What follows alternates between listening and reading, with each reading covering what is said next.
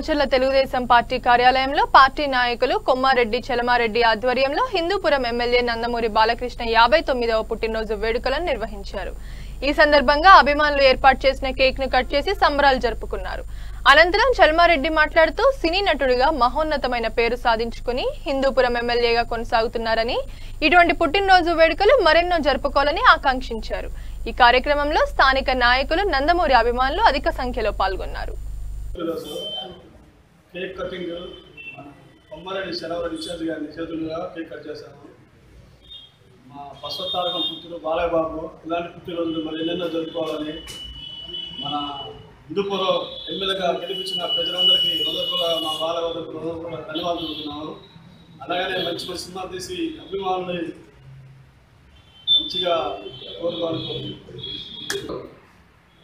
Cinema పరిశ్రమలో అనేక అభివృద్ధి కార్యక్రమాల్లో కానీ ఇలానే ఈరోజు ప్రసవ తారక రామారావు గారు క్యాన్సర్ హాస్పిటల్లో అభివృద్ధి కమిటీ చైర్మన్గా కానీ అలానే హిందూపురం ఎమ్మెల్యేగా రెండు సార్లుగా ఆయన గెలవటం అత్యధిక మెజార్టీతోటి ఇలాంటి సంక్షేమ కార్యక్రమాల్లో కానీ సోషల్ కార్యక్రమాల్లో కానీ అనేక విధాలుగా అభివృద్ధి చెందుతూ సినిమా పరిశ్రమని అభివృద్ధి చెందుతున్న బాలకృష్ణ గారి యాభై తొమ్మిదవ జన్మదిన శుభాకాంక్షలు మాచర్ల తెలుగుదేశం పార్టీలో జరుపుకోవడం జరుగుతూ ఉంది. అభిమానులు అందరి సంతోషంగా ఈ కార్యక్రమాన్ని విజయవంతం చేసినందుకు బాలకృష్ణ అభిమానులు అందరికీ కూడా నా ఉదయం సినీ పరిశ్రమలో ఇంకా ఎంతో అభివృద్ధి చేసి రావాలని ఈరోజు ఆంధ్రప్రదేశ్లో కూడా ఐటీ బసవతారక హాస్పిటల్ని అక్కడ కూడా నిర్మించి ఆంధ్రప్రదేశ్ ప్రజలకు కూడా ఆ వై- వైద్య సౌకర్యాలని అందుబాటులో తీసుకునే విధంగా కూడా ఆయన కృషి చేయాలని ఈరోజు ఆయన్ని మేమందరం కూడా కోరుకుంటూ ఈ యొక్క అభివృద్ధి కార్యక్రమాల్లో ముఖ్యంగా ఆంధ్రప్రదేశ్లో బసవతారక ట్రస్ట్ ద్వారా ఇక్కడ కూడా సేవలు అందించాలని కోరుకుంటున్నాను ప్రధానమంత్రి నరేంద్ర మోడీ నిండు సభలో ఆంధ్ర రాష్ట్రాన్ని అభివృద్ధి చేస్తానని చెప్పడం చాలా హర్షించదగ విషయమని బీజేపీ పార్టీ నేత రఘునాథ్ బాబు అన్నారు.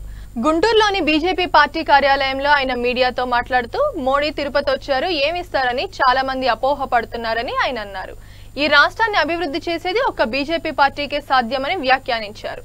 అది ప్రత్యేక హోదానా లేక వేరే మార్గమనా అనేది కాలం నిర్ణయిస్తుందని అన్నారు. డెవలప్డ్ స్టేట్ యాభై ఎనిమిదేళ్ళ తర్వాత విడిపోయేటప్పటికి అన్డెవలప్డ్ అయింది. బ్యాక్వర్డ్ అయిపోయింది. మరి ఈ యాభై ఎనిమిది ఇది బ్యాక్వర్డ్ అవ్వటానికి ఇవాళ కేంద్రం ఏదన్నా సహాయం ఇస్తే కానీ మేము బతకలేము అనేటటువంటి పరిస్థితికి వచ్చిన దానికి ఇవాళ ప్రత్యేక హోదాను ఇంకోటను పెద్దానికి కేంద్రం వైపు చూస్తూ లోటు బడ్జెట్తో మిగిలిపోయిన పరిస్థితి ఈ రాష్ట్రానికి రావడానికి కారకులు ఎవరు? ఈ యాభై ఎనిమిది సంవత్సరాల్లో రెండే పార్టీలు ఈ రాష్ట్రాన్ని పరిపాలించినాయి. ఒకటి కాంగ్రెస్ రెండు తెలుగుదేశం. ఇవాళ ఆ రెండు పార్టీలు కూడా ఒక పంచనే ఉన్నాయి ఒక ఘాటనే ఉన్నాయి ఒక గుట్లో ఉన్నాయి. కాబట్టి వాళ్ళిద్దరూ ఒకళ్ళ మీద ఒకళ్ళు విమర్శ చేసుకోవడానికి కూడా ఆస్కారం లేదు. కాబట్టి వీళ్ళిద్దరూ కలిసి ఒక ధనిక రాష్ట్రాన్ని ఒక డెవలప్డ్ రాష్ట్రాన్ని ఒక పేద రాష్ట్రంగా మార్చిన ఘనత వాళ్ళది. కనీసం ప్రజలకి ఒక క్షమాపణ చెప్పి మా హయాంలో ఈ తప్పులు జరిగినాయి భవిష్యత్తులో ఈ మార్చుకుంటాం అని ఈ రోజుకైనా వాళ్ళిద్దరూ నోరు తెరిచి చెప్పారు. కేంద్రం నుంచి రాలేదని విమర్శించే ముందు నువ్వు ఈ రాష్ట్రానికి చేసిన అన్యాయం ఏంటి? ఈ దుస్థితికి తీసుకురావటానికి మరికే కారణం ఎవరు? అన్న విషయం ఒకసారైనా మీ బాధ్యత ప్రజలకు చెప్పాల్సినటువంటి బాధ్యత వాళ్ళు చెప్పారని నేను ప్రశ్నిస్తున్నాను. సరే ఇవాళ కేంద్రం ఈ రాష్ట్రం నుంచి ఒక్క సీటు ఇవ్వకపోగా ఒక పర్సంటేజ్ ఓట్లు కూడా ఇవ్వలేదు. ఒక పర్సంటేజ్ ఓట్లు ఇవ్వకపోయినా ఇవ్వకపోయినప్పటికి కూడా మోడీ గారు ఈ రాష్ట్రానికి అన్యాయం చేయం. ఈ రాష్ట్రానికి న్యాయంగానే ఏవి రావాలో అది ఇస్తాం అనే ఒక భరోసా ఇచ్చారు. అది ఆయన పార్టీలో వైసీపీ నుంచి చేర్చుకున్నప్పుడు ఆ ఎమ్మెల్యేలందరూ ఒకే మాట చెప్పారు. ఏం మాట అది? మా నియోజకవర్గ అభివృద్ధి కోసం మేము అక్కడికి వెళ్తున్నాము. నియోజకవర్గ అభివృద్ధి అంటే అంటే అపోజిషన్ పార్టీ ఆ స్థానంలో కనుక అది తెలుగుదేశాన్ని గెలిపించి ఉండకపోతే ఆ నియోజకవర్గాన్ని ఆయన అభివృద్ధి చేయరు అనేది ఆ మారిన ఎమ్మెల్యేలే చెప్పారు. మారిన ఎమ్మెల్యేలు చెబితే పర్వాలా? ముఖ్యమైన ఆ మాజీ ముఖ్యమంత్రి గారే కర్నూలులో గౌరవ చరితారెడ్డిని పక్కన పెట్టుకుని ప్రజలందరి ముందు ఒక మాట చెప్పారు. ఈమె గతంలో నా దగ్గర చాలాసార్లు వచ్చేది కానీ నేను ఏ పని చేసేవాడిని కాదు. కానీ అప్పుడు ఆమె అపోజిషన్ పార్టీ కాబట్టి కానీ ఇప్పుడు మా పార్టీలోకి వస్తాను కాబట్టి ఇప్పుడు నేను చూడండి మీ నియోజకవర్గ అభివృద్ధిని పరుగులు పెట్టిస్తానని చెప్పాడు. అంటే దీని అర్థం ఓ అపోజిషన్ పార్టీ గెలిచినటువంటి నియోజకవర్గాల్ని రాష్ట్ర ప్రభుత్వం ఇలా చూసింది కాబట్టి చూ గతంలో అలా జరిగింది కాబట్టి వాళ్ళందరికీ ఎలా ఉంటుందంటే కేంద్రం ఇక్కడ బీజేపీని గెలిపించలేదు కాబట్టి ఈ రాష్ట్రం మీద కూడా వాళ్ళు ఎలాగైతే ఈ అపోజిషన్ నియోజకవర్గాలను ఎలాగైతే దూరం పెట్టారో ఈ రాష్ట్రాన్ని కూడా దూరం పెడతారు అనే భయోందోళనలో వాళ్ళకు ఉండటం సహజం. ఎందుకంటే వాళ్ళు చేసిన దొంగ పని తప్పుడు పని మేము చేస్తామని వాళ్ళు అనుకోవటం అది సహజం. కానీ వాళ్ళ మాదిరి మేము చెయ్యం. ఈ రాష్ట్రం నుంచి గెలిపించకపోయినా ఓట్లు ఇవ్వకపోయినా ఈ రాష్ట్ర అభివృద్ధికి గతంలో వాళ్ళు చేసినటువంటి నష్టాన్ని తిరిగి పూరించి మిగిలిన రాష్ట్రాలతో పాటు వేగంగా పరిగెత్తించేటట్టు ఈ రాష్ట్రాన్ని అభివృద్ధి చేసేది మేము మాత్రమే.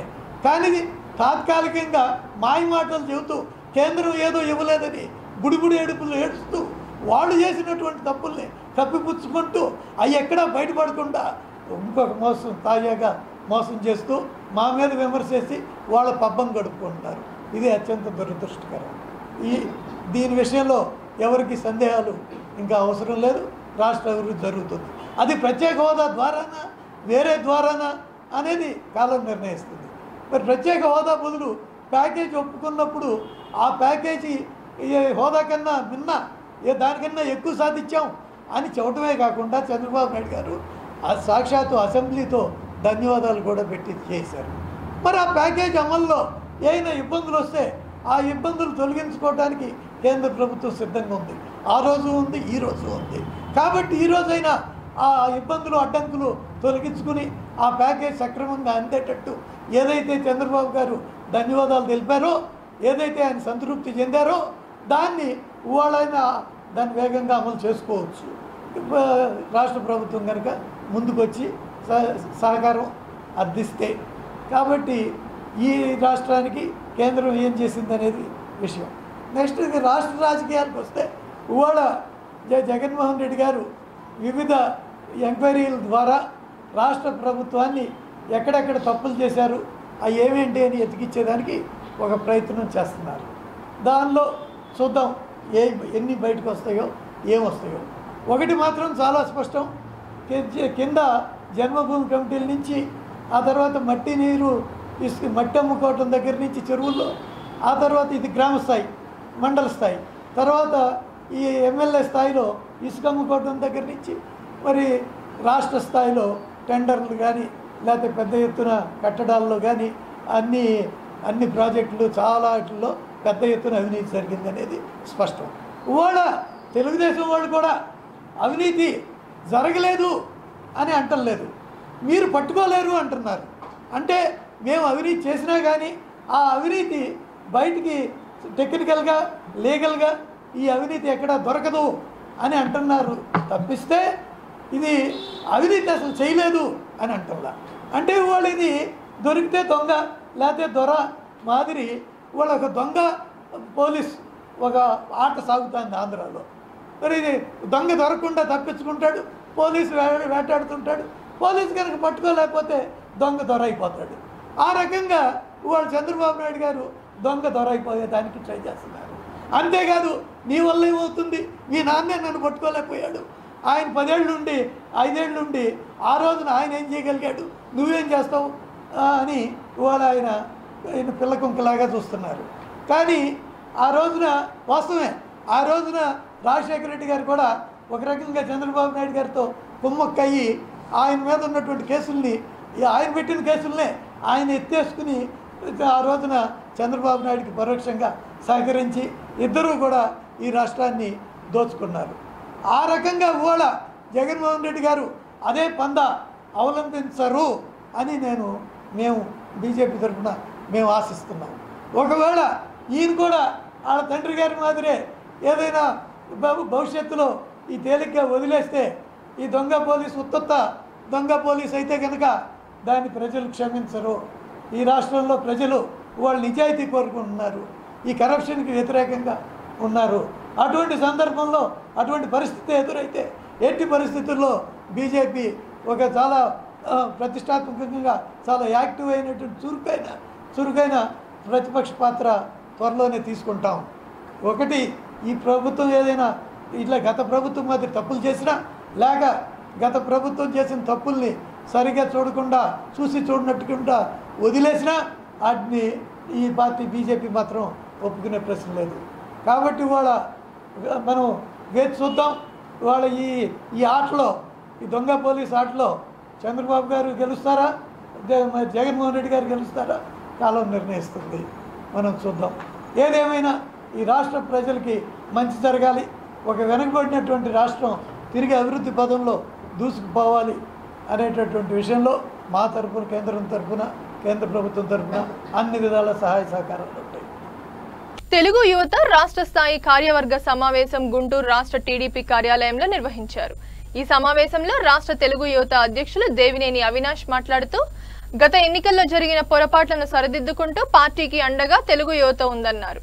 తెలుగుదేశం పార్టీని గ్రామ స్థాయి నుండి బలోపేతం చేయడానికి యువత సైనికుల్లా పనిచేయాలని పిలుపునిచ్చారు. మళ్ళీ రాష్ట్రంలో తెలుగుదేశం పార్టీ అధికారంలోకి వచ్చే వరకు తెలుగు యువత కృషి ఉండాలన్నారు. ఈ కార్యక్రమంలో హిందూపురం ఎమ్మెల్యే నందమూరి బాలకృష్ణ జన్మదిన వేడుకలు ఘనంగా నిర్వహించారు.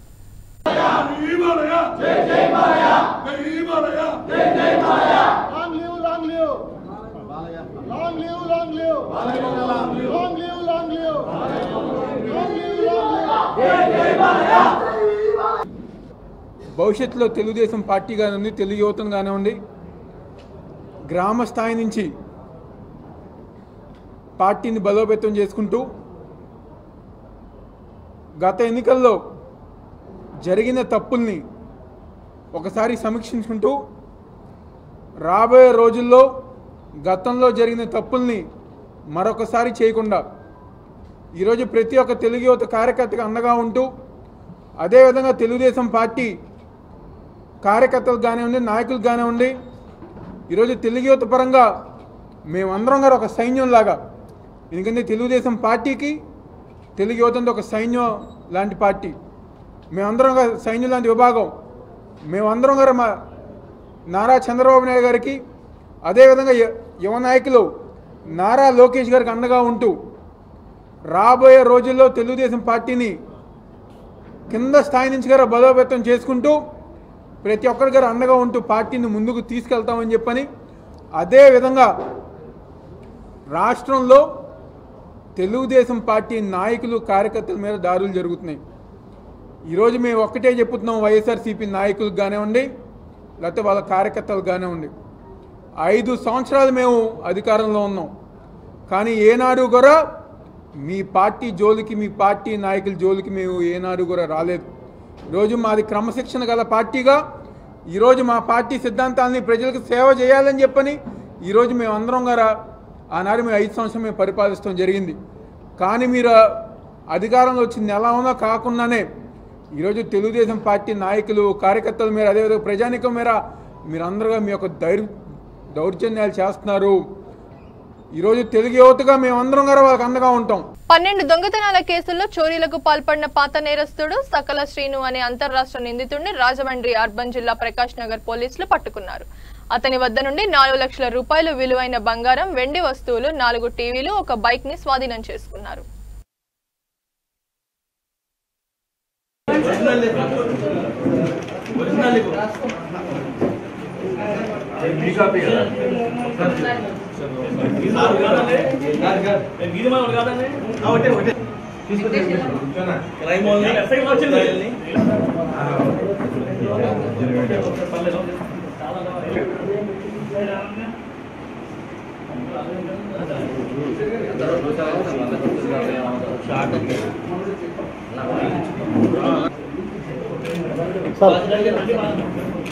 మంత్ లాస్ట్ వీక్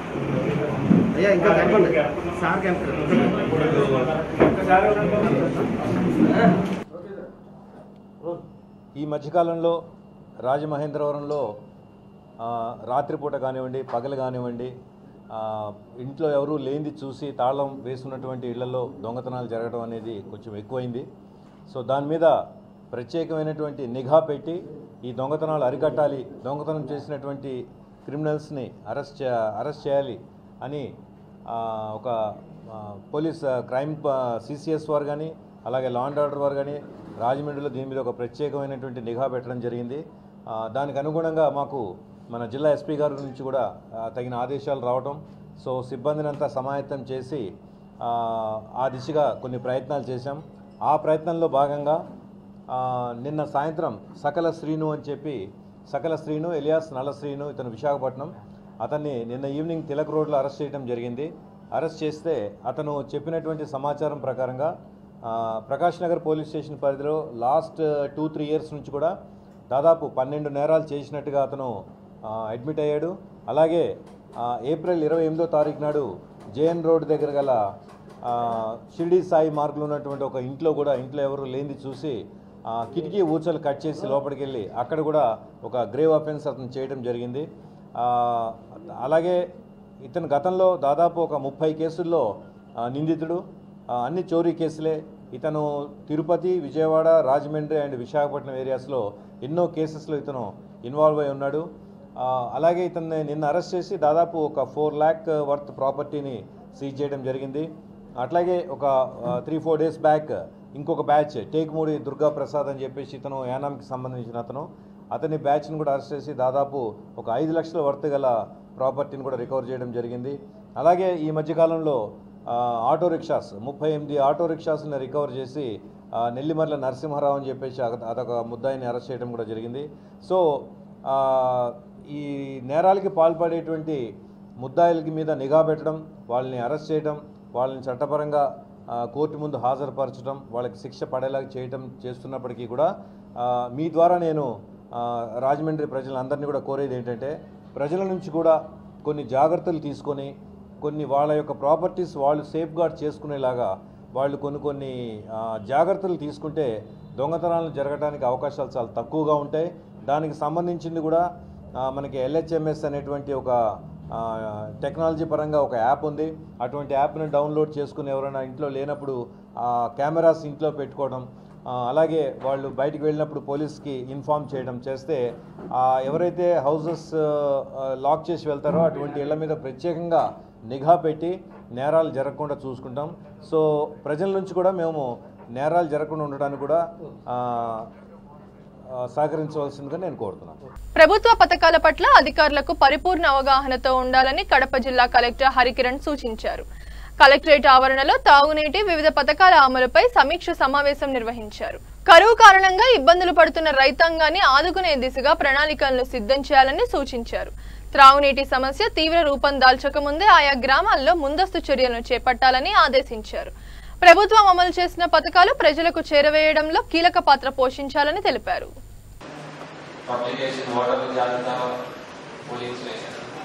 ఇది గవర్నమెంట్ ప్రయారిటీ సీఎం గారి ప్రయారిటీ సో జనరల్గా ప్రభుత్వం ప్రయారిటీస్ ఏంటో అధికారులుగా మన ప్రయారిటీస్ అదే ఉంటాయి కాబట్టి పెట్టుకోవాల్సిందిగా కోరుతున్నాం అని గ్రూప్లో కూడా పంపించారు. సో దాన్ని దగ్గర పెట్టుకొని నా ప్రయారిటీస్ అవే అని చెప్పి ప్రభుత్వం ముఖ్యమంత్రి గారు చెప్తున్నారు కాబట్టి అందరి చేతుల్లో టూ ప్లాన్ మేనిఫెస్టో నేనైతే ప్రింట్ తీసి నా చేతితోనే పడుతుంది ఎప్పుడు ఏ ఇంప్లిమెంటేషన్ పెన్షన్ కానీ దాని తర్వాత రైతు భరోసా కానీ దాని తర్వాత అమ్మ ఒడి కానీ ఏ డిపార్ట్మెంట్ ఆ డిపార్ట్మెంట్ చెప్పగలగాలి చూడకుండా మా డిపార్ట్మెంట్ సంబంధించి ఇది గవర్నమెంట్ పెట్టుకున్న ప్రయారిటీస్ సరే కొన్ని రెండు నెలల్లో ఇంప్లిమెంట్ చేస్తాం కొన్ని మూడు నెలల్లో ఇంప్లిమెంట్ చేస్తాం కొన్ని నాలుగు నెలల్లో ఇంప్లిమెంట్ చేస్తాం కానీ మీ డిపా ప్రభుత్వం ముఖ్యమంత్రి ఏమనుకుంటున్నారు మా డిపార్ట్మెంట్లో ఏం చేద్దాం అనుకుంటున్నారు మా manifesto two page manifesto two pages నీట్గా బాక్సెస్లో కూడా ఉంది. సో ఇది క- చదవడానికి కష్టం తెలుగులో కూడా.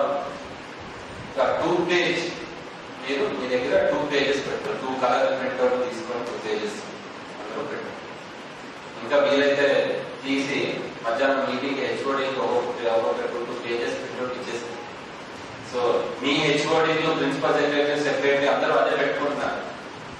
మీరు ఏముందో నాకు తెలియదు సార్ గవర్నమెంట్ ప్రయారిటీ అని మీరు వీడియో కాన్ఫరెన్స్లో కానీ జిల్లాకు వచ్చినప్పుడు మాకు తెలియదు అని చెప్పారనుకోండి ఇగ్నోరెంట్గా ఉన్నారు వీళ్ళకి ఏం తెలియదు ఇలా అప్డేట్ అవ్వట్లేదు ప్రభుత్వం ప్రయారిటీస్ కూడా సో టూ పేజ్ ఆ టూ పేజెస్ సింపుల్ సింపుల్గా ఉన్నాయి బుల్లెట్ పాయింట్స్ సో అది మీకు తెలియాలి హౌసింగ్లో కావచ్చు పంచాయతీలో కావచ్చు పెన్షన్స్లో కావచ్చు రైతు భరోసా అమ్మ ఒడి ఇవన్నీ స్కీమ్స్ ఏ స్కీమ్ అయినా సరే దాంట్లో సింపుల్గా బుల్లెట్ పాయింట్స్ ఉన్నాయి అది మీరు పెట్టండి నెల్లూరులోని టీడీపీ జిల్లా కార్యాలయంలో నూడా చైర్మన్ కోటంరెడ్డి శ్రీనివాసులు రెడ్డి ఆధ్వర్యంలో నందమూరి బాలకృష్ణ జన్మదిన వేడుకలు ఘనంగా నిర్వహించారు. అనంతరం పార్టీ జాతీయ పోలిట్ బ్యూరో సభ్యుడు సోమిరెడ్డి చంద్రమోహన్ రెడ్డి దివ్యాంగులకు మోటార్ ట్రైసైకిళ్ళు క్రికెట్ టోర్నీ విజేతలకు బహుమతులను అందజేశారు. ఈ సందర్భంగా సోమిరెడ్డి మాట్లాడుతూ అధికారంలో ఉన్నప్పుడు ఆంక్షలుంటాయని ప్రతిపక్షంలో ఉన్నప్పుడు కార్యకర్తలకు పూర్తి అండగా ఉన్నామనే తృప్తి ఉంటుందని అన్నారు. ఈ కార్యక్రమంలో మాజీ ఎమ్మెల్యేలు కొమ్మి లక్ష్మయ్య నాయుడు శ్రీధర్ కృష్ణారెడ్డి గ్రంథాలయ సంస్థ చైర్మన్ కిలారి వెంకటస్వామి నాయుడు బాలకృష్ణ అభిమాన సంఘం నేతలు అభిమానులు కార్యకర్తలు తదితరులు పాల్గొన్నారు.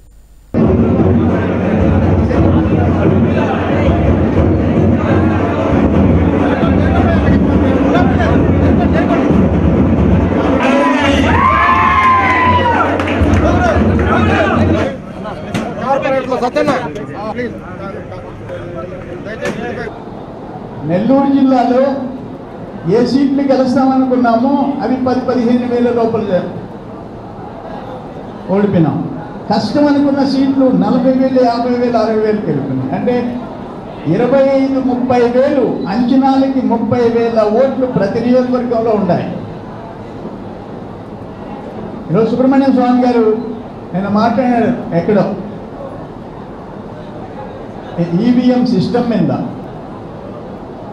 అడ్వాన్స్డ్ కంట్రీస్ అభివృద్ధి చెందిన దేశాలు ప్రపంచంలో. ఈవీఎం సిస్టమ్ మాకొద్దు దీంట్లో ప్రజలకి అనుమానం ఉందని జర్మనీ లాంటివి అమెరికా లాంటి దేశాలు పోస్టల్ బ్యాలెట్ మీద వెళ్ళిపోయినాయి. దానికి వీళ్ళేమంటారు నువ్వు రెండు వేల తొమ్మిదిలో మాట్లాడినావు పద్నాలుగులో? ఎస్ రెండు వేల తొమ్మిదిలో ఎలక్ట్రానిక్ ఓటింగ్ తేవాలన్నారు. టెక్నాలజీ కొత్త పుంతలు తగ్గుతా ఉంది. నిన్న సోషల్ మీడియాలో పెట్టున్నారు కేసీఆర్ రెండు వేల పద్నాలుగులో మా తొమ్మిదిలో మాట్లాడింది. ఇక్కడ కూర్చొని కంప్యూటర్ ఎదురుగా కూర్చొని అంతరిక్షంలో ఉండే ర్యాకెట్ని కంట్రోల్ చేసినప్పుడు ఆ ఈవీఎం తయారు చేసినోడు దాన్ని మ్యానిపులేట్ చేయలేడని అనేది ఎక్కడానని కేసీఆర్ మాట్లాడింది చూసాం. టూ థౌజండ్ నైన్లో. అది పక్కన పెడతాం. ఇప్పుడు సుబ్రహ్మణ్య స్వామి గారు చాలా క్లియర్గా మాట్లాడారు. ఎందుకు ఎలక్షన్ కమిషన్ అట్లీస్ట్ ఆ పడిన ఓటు స్లిప్ అన్న ఓటర్ కన్నా ఇవ్వాలా? లేకపోతే మొత్తం అన్న లెక్క పెట్టాలి? దాంట్లో ఎందుకు మీరు హెసిటేట్ చేస్తున్నారు? ఇతర దేశాలు వదిలేసేసి బ్యాలెట్ మీదకి వెళ్ళిపోతే మీరు ఈవీఎం అన్నారు. దాంట్లో ప్రజలకున్న అనుమానాలు తీర్చడంలో ఎలక్షన్ కమిషన్ సరిగా ప్రవర్తించలేదని సుబ్రహ్మణ్య స్వామి మాట్లాడింది కూడా విన్నాం. ఏదేమైనా మనం పూర్తిగా ఈవీఎంల మీద పెట్టేసేసి కాదు మనం అంతర్మదనం చేసుకోవాలి. ఏమేం ప్రోగ్రామ్స్ టేకప్ చేశాం ఏమి గ్రౌండ్ లెవెల్కి ప్రజల్ని తాకే ఏవి మనం జనం నుంచి స్పందన తెచ్చుకోలేకపోయినాం. దాన్ని అంతర్మదనం చేసి నిష్పక్షపాతంగా మనం ఆత్మహత్య చేసుకోవాల్సిన అవసరం ఇవి ఇప్పటి వరకున్న అప్డేట్స్ చూస్తూనే ఉండండి ఏఎన్ఎన్ న్యూస్.